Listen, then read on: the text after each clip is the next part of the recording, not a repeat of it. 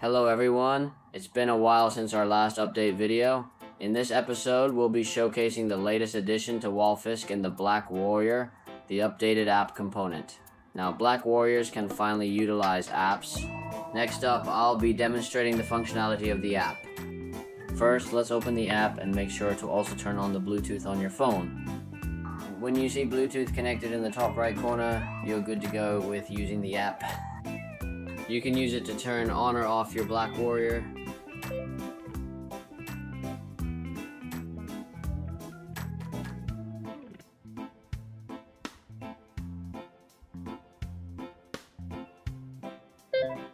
Toggle your anti-theft alarm system on off. If you can't find your Black Warrior bike, simply hit the find bike button to have it call out to you. My camera doesn't capture sound very well, so in the videos it might sound a bit quiet, but in reality it's actually pretty loud, enough to help you find your Black Warrior. The near unlock button makes using the Black Warrior a breeze. Once you activate this feature, simply approach the Black Warrior, and it will automatically unlock and power on for you. The share bike button allows you to share this Black Warrior with your friends and family, but they need to register their accounts in the app first.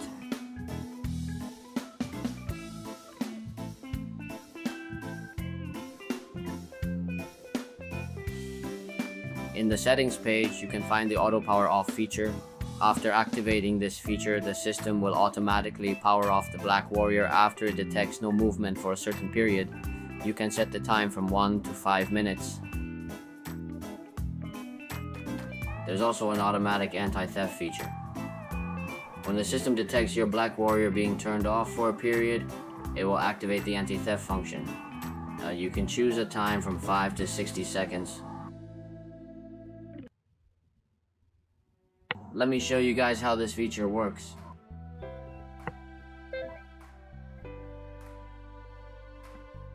First, turn off the Black Warrior, then wait for 5 seconds and the anti-theft function will automatically activate.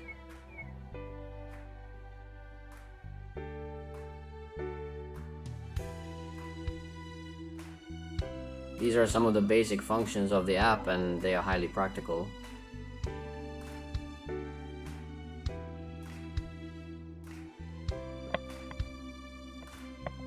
To use the app properly, we must keep the battery turned on.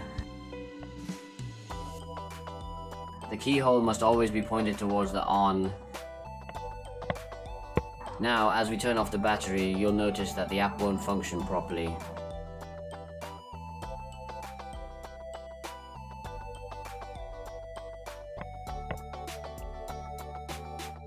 If you turn on the battery power, the app will go back to normal because it requires the Bluetooth module inside the electric bike to operate.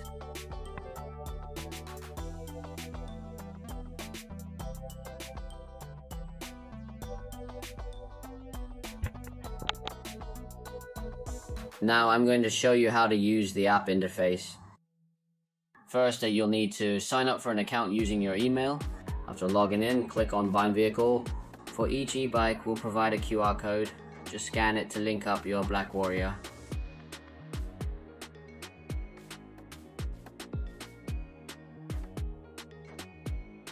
And then you're good to go with the app, ready to explore with your Black Warrior